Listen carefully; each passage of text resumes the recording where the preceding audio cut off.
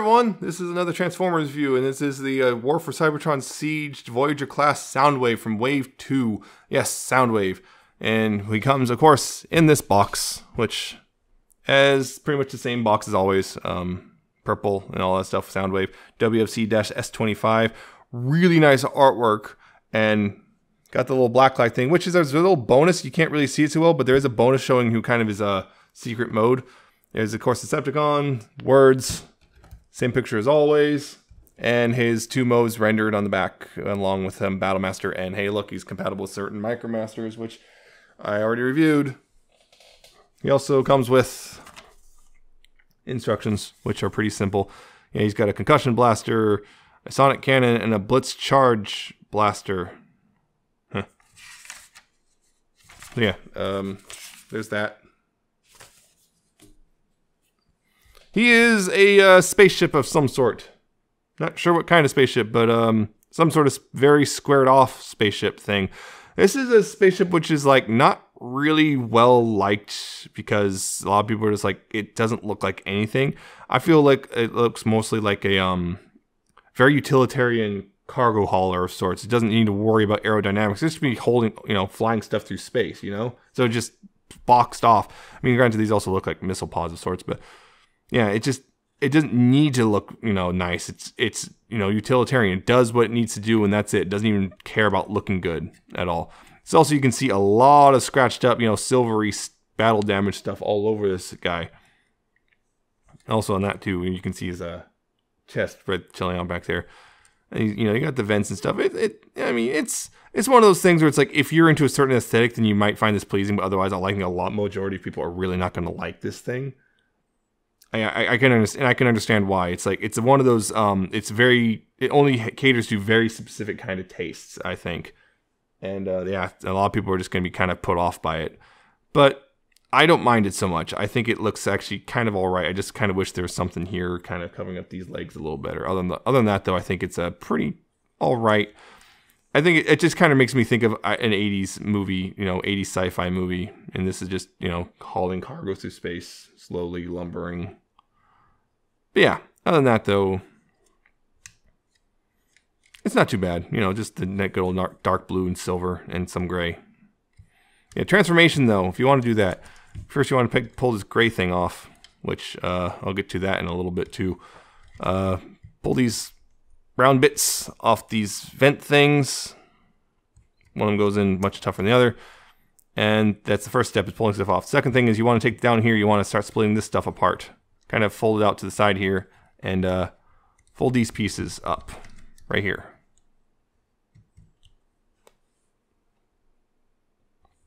Now fold these those pieces up and kind of leave those out to the side for now.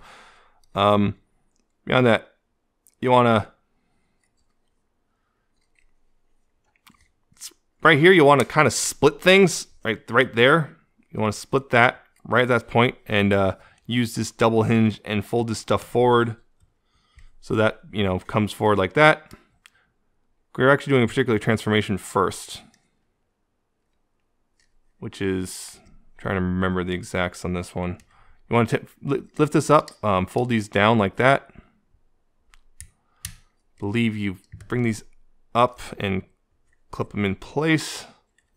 So you want to move that down and then clip that into place. And then bring those forward, and then you let's see, yeah, you move, you um rotate these back. You rotate the elbows in a specific spot, the lower hinge on the elbows, so that there's these slots here. I don't know if you see that, but these slots there that tab into this right here. If you line it up properly.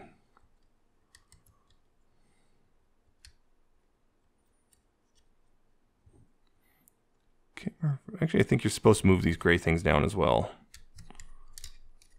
I don't think that one part, it's one of those, the thing, but yeah, you move that, tab those in. Did I mention we're doing the uh, secret mode first?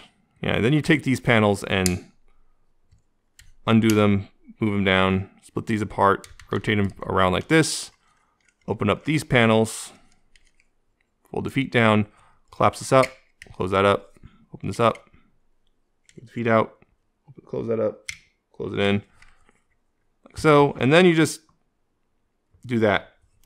And that is, well, more or less his um, hidden mode that they did. It's the little hidden mode that they put up. Apparently, you're also supposed to move these up. There we go. Those things are supposed to be moved up too. That's what I missed. Okay. Because the thing is, it's all not only in the black light. It's not mentioned anywhere in the instructions, but it's also it's the black light in the box. And if you open up the bottom panel, it's uh printed right there. So it is kind of officially endorsed, just in a very, I guess, little secret bonus for the fans, you know, because this is very much his kind of G1 tower mode from uh, the first episode. It's a little goofy. He doesn't really look like anything except a kind of a standing robot, but hey, um, there you go. If you want, you know, it's kind of cool they put it in, they put engineering in. I mean, specifically put tabs and stuff here for this mode, but you know, it's not nothing really hugely out of the way. It's not super complicated and doesn't, it's, you know, but it's just kind of a little nice little homage to the first episode G1. But you continue on to robot mode, you just straighten that back out, you uh, untab the arms and move them down, uh, rotate that back up, rotate the arms around, move this out, down and around, and rotate this up. Take this backpack thing right here, take the whole panel and move it out. Know, so you can also move this thing, you know, this whole, this whole thing right here, you can often move down with it. You want to pull the head out, which can be a bit of a pain in the butt sometimes. Move the head out. then when you're folding this back up, there's a double hinge here, which is really tough. It doesn't like to move. And then you move it down the other way so this becomes this backpack. And then you take the fists and fold them around like that. Rotate them out. And that is his, well, basic mode right there. His basic uh, robot mode. Not entirely complete, obviously, but that's the robot mode because we also got to take his little shoulder cannon and uh, peg it in right there. There you go. That's his robot mode. Yeah. It's uh it's Soundwave. I really like this robot mode a lot, honestly. Um the yeah, I, I can see why the alt mode can really uh chase away a lot of people because yeah, it's it's a very much a uh very, I guess, niche aesthetic that the alt mode is. But it, I guess some people are gonna like, including myself, which you know the weirdos like myself who like it. But yeah, uh, the other thing is to put a lot of people off is just the sheer amount of battle damage right here on the chest, which for a lot of people is gonna be annoying because it's gonna be kind of difficult to pull off.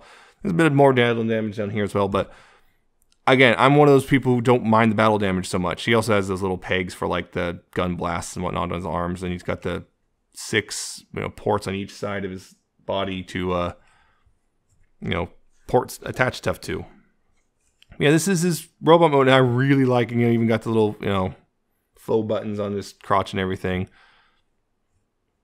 I think possibly another thing people won't like is, you know, the uh, big old gap right there in his arms. Like that's going to upset some people, but again, I've kind of just kind of made peace with the fact that just some transformers are going to have those gaps. Even though I do, I do um, uh, admire the fact that they did, you know, make us of these fill in really nicely so that you can't even see the hollow, you know, the spaces for the leg, feet. He also technically, this is technically a gun right here. This little gray thing is a gun, which again, effect parts. If I can find one. Effect parts can peg over the bottom part right there. And this is one is a gun too. What you do with this is you click, send it out till it clicks. And I believe this also can, maybe, maybe not. Yeah, kind of. Yeah, one works too. They can hold that so you can have, you know, three guns. Ooh, three guns. The thing about this thing is um, it's real weird, whittle, a little weird. You can uh, fold this out and then you take these two things right here and the weird thing is you take this one, you put it in the large end, like that, and then you take this one and put it in the this end right here, and you got this ridiculous looking long rifle, which has a really narrow end, and is like, doesn't look great, honestly. Um, honestly, it looks pretty bad, so I don't like to use it like ever, like ever, ever. It looks bad to me, so I just don't use it.